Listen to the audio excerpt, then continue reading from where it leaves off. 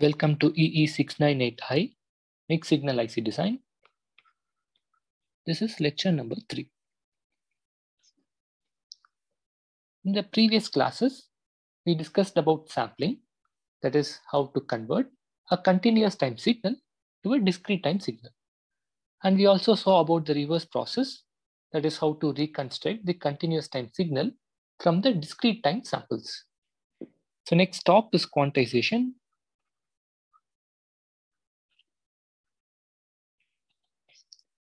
As we saw in the first class, quantization is the last step after sampling to convert a signal from analog to digital. So first, let's quickly understand what quantization does. So let us say this is my discrete time sequence obtained after sampling. So this is the time axis n. This is the amplitude axis. Say this is n equal to 0, 1, 2, and so in sampling, what we did, we took this time axis and discretized it to discrete time instance, right? So we have only discrete time instance marked here. So we'll do the same thing in quantization, but we'll do that for the amplitude axis. That is, instead of allowing all possible amplitude values, we will say that we'll allow only discrete amplitude levels marked by this cross. So what that means, well, we'll say that any input lying within this range is mapped to this voltage. Within this range, we'll map it to this voltage. Within this range, we will map it to this voltage and so on. Okay. So let's say if I my x of n, that is a discrete time samples are like this. So let's say it is this. So second sample, let's say it's somewhere here. The third sample is somewhere here. So what I do, I find that my first sample is lying in this region, right? So I'll quantize it to this amplitude. Similarly, the second amplitude lies in this region. So I'll quantize it to this amplitude. Similarly, the third one, I'll quantize it to this amplitude. Okay. Since we have a finite number of amplitude levels, we can code them using binary bits? And in general, if we have 2 power n levels, we can code them using n bits. Right? Now let us see how the input output characteristics of quantization, that is the quantization operation looks like. So let's say this is my input axis and let's say the input is u. Here I have the output, which I call V. So what do we do? Well, as we saw here, we divide the amplitude into multiple regions like this, right? And then for that particular region, we assign a particular amplitude. So these are the regions that are marked by these values. And any input lying within this region, I'll say that it is getting mapped to this value.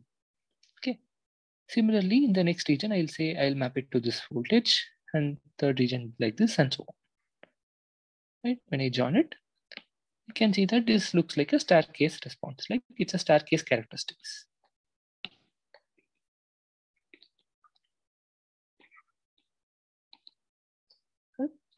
So in this characteristics, let's say if I keep extending it to the negative voltages also, so there are two possible values for zero to be, right? One, it can be anywhere in between, say that is here, or zero volts can be at this point where we have this jump. And depending on these two possibilities, we have two different types of quantizers, okay?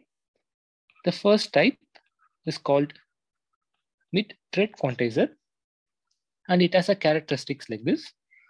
So this is my input axis U. This is my output axis V. And in a mid-tread quantizer, zero is one of the permissible output levels. So we'll have the first level at zero. I mean, one of the levels at zero. And the rest of the characteristics will look something like this. On the other hand, we'll have a mid-rise quantizer and its characteristics will look like this. So again, let's say this is the input U, and output P. here zero is not one of the allowed levels. So we'll have this jump at zero. And then the characteristics will look like this.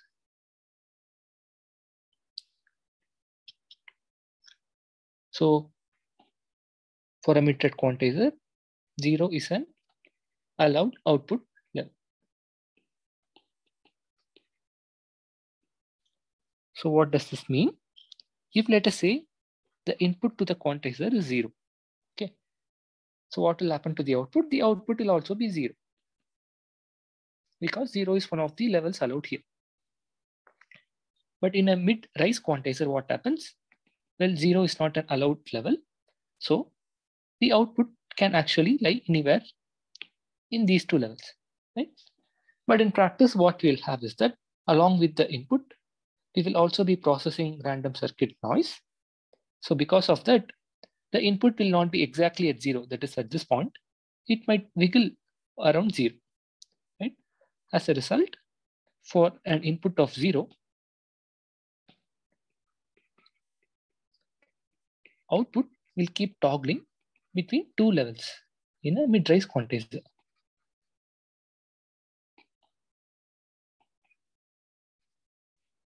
Okay. On the other hand, if you take a mid-tread quantizer, since zero is one of the levels, the characteristic is asymmetric. That is, we'll have, let us say we have even number of levels in total, right? Here I have taken eight levels. Since zero is permitted here, I'll have three levels in the positive and I'll have four levels in the negative, right? For the negative voltage. So this will have an asymmetric response.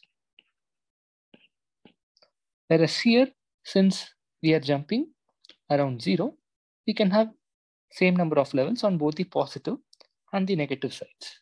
So here it will be symmetric. Right? Asymmetric response for even number of levels. Well, if I have to make the mid-rise quantizer to have a symmetric characteristic, what do I do? I'll have to add one more level here, right? So it becomes an, a quantizer with odd number of levels.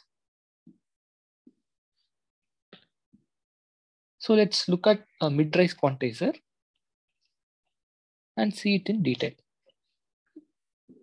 Well, let's say the input can take values from between a minimum voltage, say I call it minus Vref and a maximum voltage of plus Vref.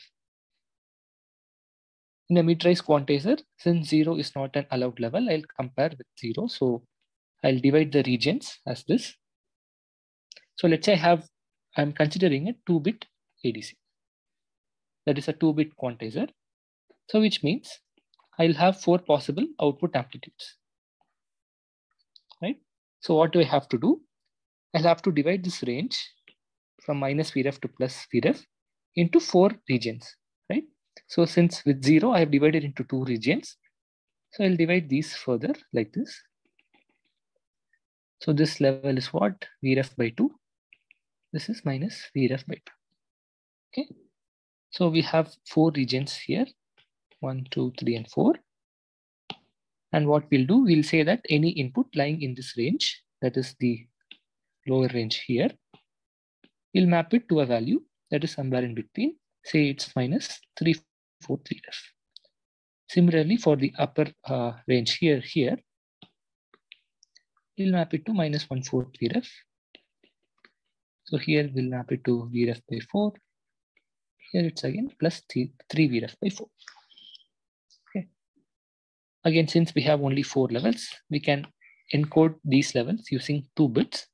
So this can be mapped as 0, 0, 0, 1, 1, 0, 1, So let's see how the input output characteristics looks for this. So let me draw the curves lines here. So this is my input tube. This is my output. So first region, we see that here in the positive side, the first region is from 0 to Vref by 2. Right, so first let me mark the values. This is say Vref by 2. This is Vref. Similarly, on the negative side, I have minus Vref by 2 and minus Vref. Okay. Let me also mark the same on the y-axis as well. So let's say this is vref by 2. This is, let's say, vref.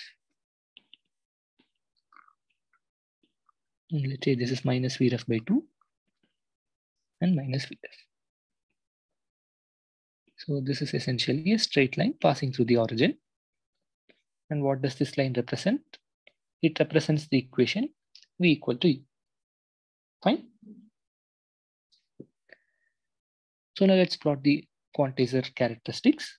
So between 0 to vref by 2, we say that the output is mapped to vref by 4. So this is vref by 4. So in the y-axis, we'll have vref by 4 here. So what we say between 0 and vref by 2, we'll map it to vref by 4 like. Right? So similarly for the next range, we'll map it to 3 vref by 4. And I'll have a similar characteristics in the negative side as well.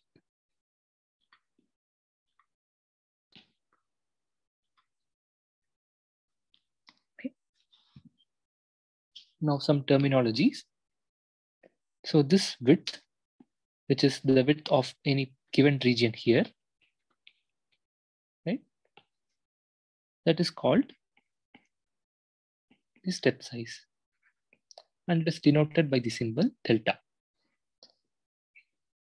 Please note that this uh, width is also equal to this width, right? So let me mark these values once again. So what is this? This is vref by 4 right? This is minus vref by 4. That is this point. Okay. And in this case, what is the step size delta? It is vref by 2. So in general, for an n-bit quantizer, which has 2 power n levels, what is the step size? Well, we have the input ranging from minus vref to plus vref. So we have a total of 2 vref, and this should be divided among 2 power n levels. So the step size is 2 vref by 2 power n. Fine.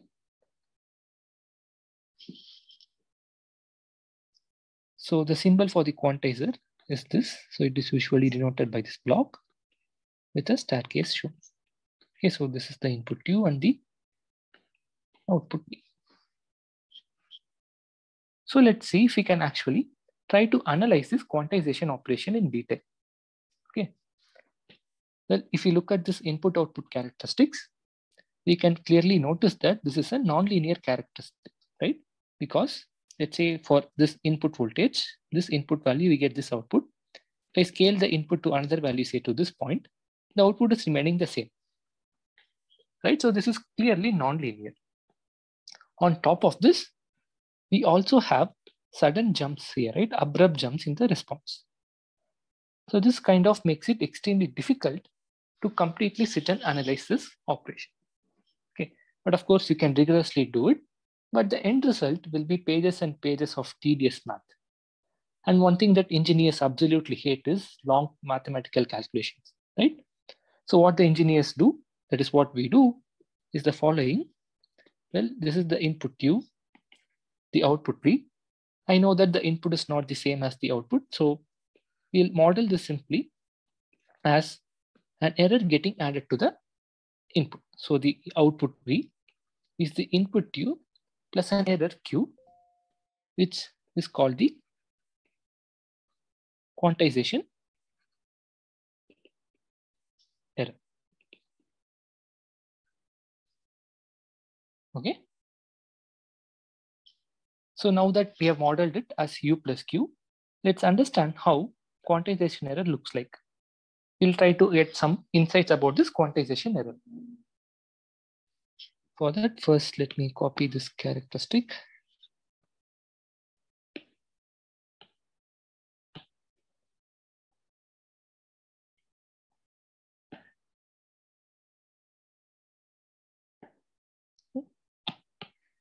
So here we know that step size is delta, that is vref by 2. So I'll change these. So just change this value from vref by 2 to delta. So this is minus delta, right?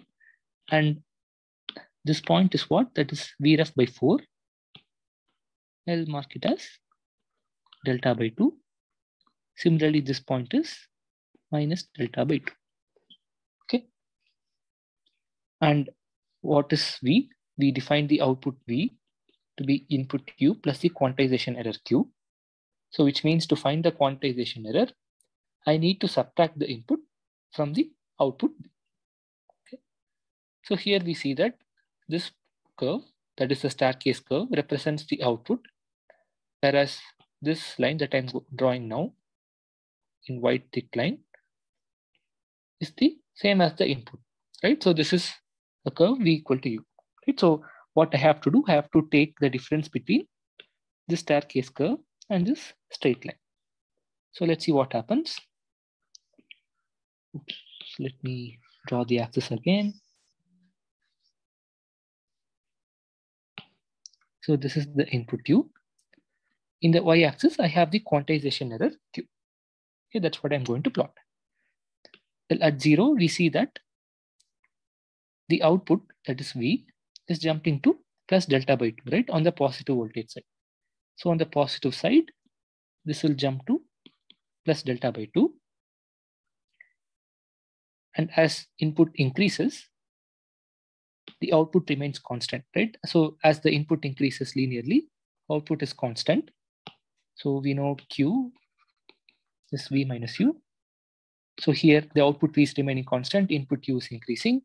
So the quantization noise will keep reducing. And at this point, it exactly becomes zero, right? Because input is becoming equal to the output, right? At this point, what happens? This is delta, that is the input is delta, output is delta by 2. So Q is delta by 2 minus delta. So it reaches minus delta by 2. So at this point, output reaches minus delta by 2, right? And immediately after this point, that is once the input crosses delta, the output jumps, right? So what will happen? The quantization error will also jump and it will jump to plus delta by 2. And then we'll have the same thing, right? At this point, it becomes 0 and then it goes. And beyond this VREF, so this VREF is when it will again become minus delta by 2, right? And beyond this point, we see that the output is saturated, right? Output is same. So if we keep increasing the input, the quantization error will keep increasing like this. So similarly, on the negative side, we'll have a characteristic, similar characteristic. So let me just draw it roughly on the negative side. So we'll have something like this. Okay. Well, some more terminology. So let me go to this curve. So here, this range from minus VREF to plus VREF, right? So let me mark it here. So this range is the permissible input range to the quantizer, right? So this is also called as full scale range or FSR, okay? And if an input is given to the quantizer beyond this full scale range, right? That is, if an if the input is less than minus VREF or if it exceeds VREF, we call that, we say that the quantizer is overloaded.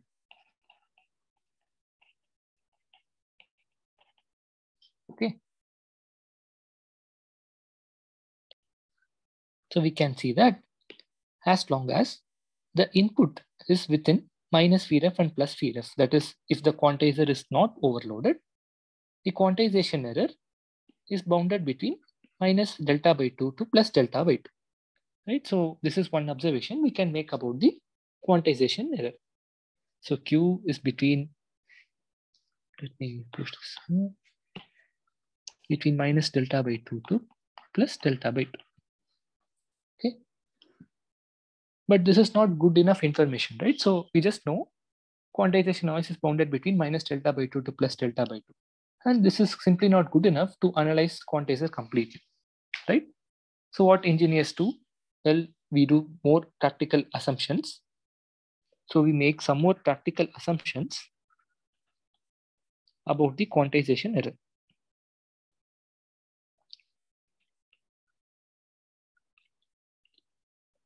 And most of these assumptions might not even make sense and it might even sound very atrocious, right? But surprisingly, it holds very well in practice. So it sort of works, that's all. So the first assumption is that, well, the difficulty here was that this quantization error Q, right, is strongly dependent on the input, right? So that's why it sort of is difficult to analyze the quantization process properly. So what is assumed is that this quantization error is independent of the signal.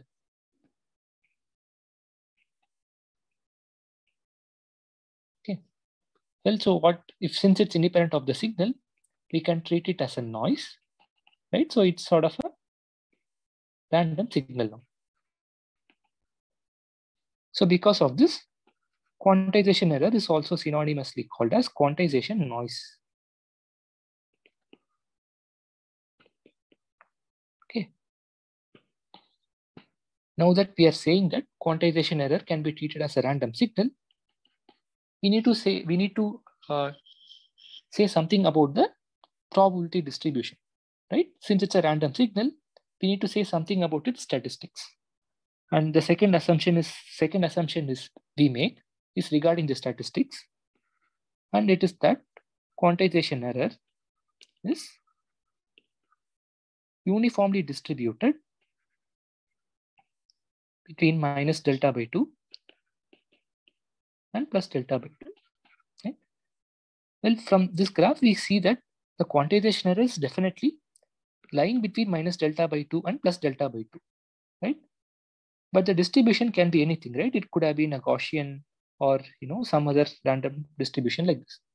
But instead, we assume that between minus delta by 2 to plus delta by 2, it has a uniform distribution, right?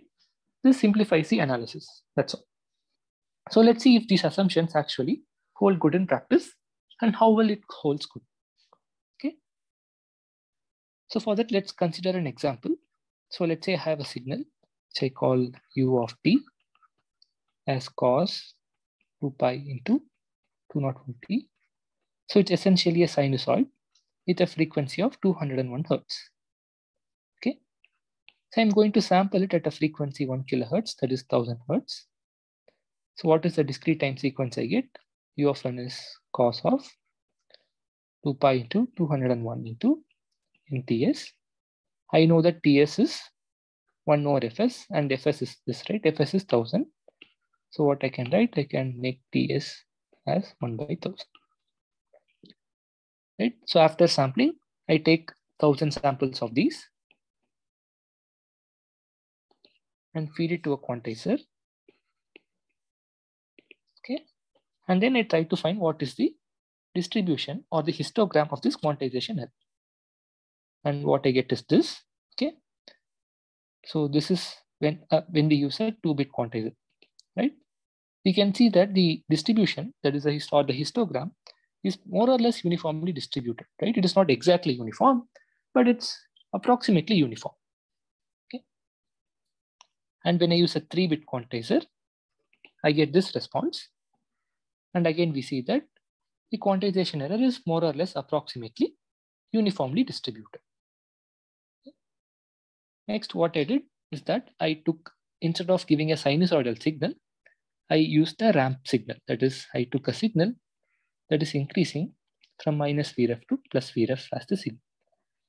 And in this case, we find that the quantization error is more uniformly distributed, right? In this case, the approximation is even valid, even more valid, okay?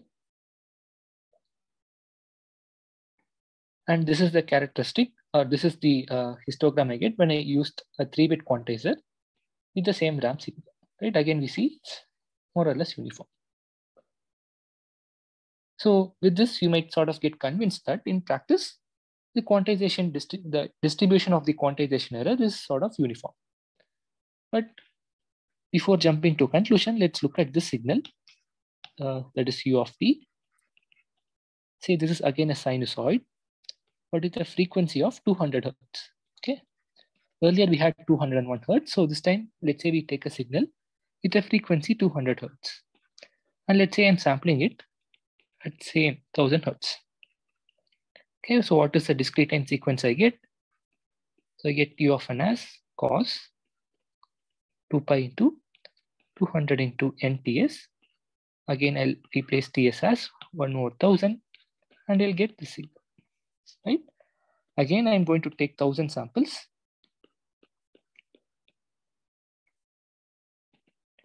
And feed it to a quantizer. Okay. And I'm going to see the histogram of the quantization error. Well, and this is how the quantization error looks like when I use a two bit quantizer. So this clearly shows that the distribution is no longer uniform now, right? And similarly with the three bit quantizer, this is what I get. Again, this is definitely not uniformly distributed. So what's happening? Well, if you stare at the signal, you can find the reason. Okay, so I suggest you pause the video and see if you can find why what's happening here. Well, if you have found out, it's great. If not, let's find out the reason. So this signal, right? We can simplify it further, right? So how can it? How can we simplify it? It is cos 2 pi into this 200 and 1000 cancel off. So we end up with 1 fifth of n. Right? So this is a sinusoidal signal. But what is the period of the signal? It is just five samples, right? So what it means is that we have only five distinct amplitudes for the signal. So even though I take 1000 samples, I have only five distinct values in this. Okay, so this you can clearly see from this plot, right? So these are the five distinct samples. So this is the first, second, third, fourth, and fifth. And then we have the same samples getting repeated. Okay, so as a result, so say this is the quantizer characteristics. So we are sort of exercising only, let's say two or three levels of the quantizer because of this. So that is why the quantization error is not uniformly distributed. Okay, this is unlike the first case where we had a sinusoid with a frequency 201 hertz. So with this choice, the discrete time sequence was this, right? Cos of 2 pi into 201 by 1000 times n, right? So which means this has a period of 1000 samples. Okay. So if I take 1000 samples of this sequence and then give it to a quantizer, all these 1000 samples will be distinct. So which means I will be exercising all possible input voltages to the quantizer, right? A similar thing happened with the ramp signal, right? So I, we were exercising all possible input voltages to the quantizer, and that is why the quantization uh, error had uniform distribution. Okay, so what's the conclusion? Well, as long as you make sure that you the input voltage spans a wide range of amplitudes, that is the entire range for the quantizer, the quantization error can be approximated to have a uniform distribution. Okay, and in practice, we'll have such kind of BC signals. So this approximation holds good. Okay, well now that we are convinced that this quantization error or the quantization noise has a uniform distribution. So let's try to get some more information from this. So we know that the PDF is uniformly distributed. So how does it look? So it's minus delta by 2 plus delta by 2. We have this uniform distribution. And this is 0. This is P of Q. Okay. So what is this value? If I say this is P naught, what is P naught? Well, we know the total area under the curve. This is 1. Right. So what is the area? P naught times delta, which is 1. So P naught is 1 over delta right? So first, let's find the mean of the quantization noise. So what is mean? Well, from this, we can clearly see that mean is zero because it is taking both positive and negative values with equal probability, right? But let's say we calculate it more properly. So mean is what? It's expectation of Q. And how do you find it? We take Q times P of Q dQ minus delta by 2 to plus delta by 2. And P of Q we know is a constant it's 1 by delta. So I'll take it out. So we'll have this minus delta by 2 to plus delta by 2 q times dq. And we know q is an odd function. And since we are integrating from minus delta by 2 to plus delta by 2, this is just equal to 0. Fine. Next, let's try to find the variance. Okay. So what is variance? It is expectation of q minus the mean squared. Here the mean is 0, right? This is the mean. This is simply equal to expectation of q square. And what is that? It is integral minus delta by 2 to plus delta by 2 q square times p of q dq. Again, p of q is constant, we'll take it out. We'll have minus delta by 2 to plus delta by 2 q square dq, right? Now this is an even function, so we can simplify it as this 2 times 0 to delta by 2 q square dq. We can easily find this to be equal to delta square by 12. Okay. So this is the quantization noise variance or the quantization noise power. Okay. And here what is delta? Delta is the step size of the quantizer. And what is it equal to? If the input is ranging from minus Vref to plus Vref, delta is 2 Vref by 2 power n, where n is the number of bits used for encoding the quantizer. Fine. So now we know that the quantization noise power is delta squared by 12. And we know what is delta. It is 2 Vref by 2 power n. So I'll have this whole square by 12. So what does this simplify to? We'll have Vref square times 3 into 2 power 2n. It is simply Vref square by 3 into 4 power n. Well, for this quantizer, we assume that the maximum and minimum voltages are Vref and minus Vref, right? So what is the maximum sinusoidal signal that we can apply? So we can apply a sinusoid with an amplitude of Vref, right? Like this. So which means what is the maximum sinusoidal signal power? Well, we know the maximum amplitude is Vref. So the maximum power is power is Vref squared by 2. Okay. So if we take the ratio of the signal power and noise power, that is quantization noise power, we'll get what is known as SQNR, which is signal quantization noise ratio. Okay. And what is this? This is ratio of signal power, that is Vref squared by 12, 2 divided by quantization noise power, which is Vref squared by 3 times 4 power n. So what does this simplify to? We have 3 half times 4 power n. So if we express this SQNR in dB, which is how we'll do in practice, what is this? Well, you can simply calculate it and you can find it to be 6.02 n plus 1.76 dB, right? So it's roughly 6 n plus 1.76. Okay. So let's say you take an ADC, right? And if you have a 5-bit ADC, what is the maximum signal to quantization noise ratio?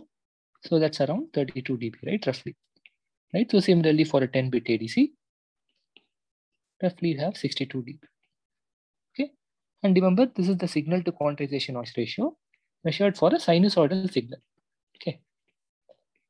And this is what we typically do for characterizing the ADC as well. Okay. And what is SQNR again? So that is 6n plus 1.76. Right. And here n is the number of bits, right? So if I increase n by one bit, how much does SQNR improve?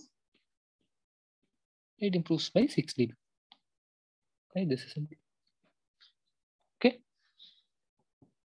So we'll stop at this point and continue in the next class.